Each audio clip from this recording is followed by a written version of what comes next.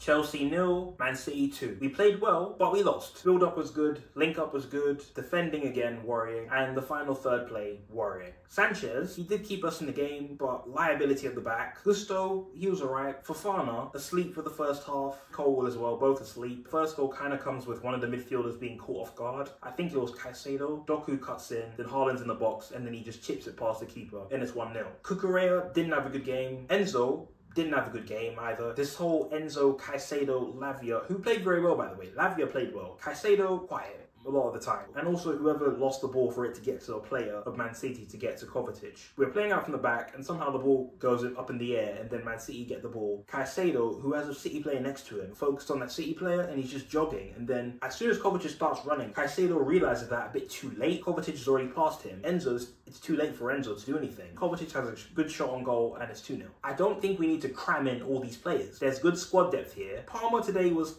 quiet, and I can see why it makes sense to have him play centrally because he's not as involved in the game because he was on the wing. And Nkunku, ineffective. Jackson did pretty much everything right except finishing. Overall, we played well, but we lost.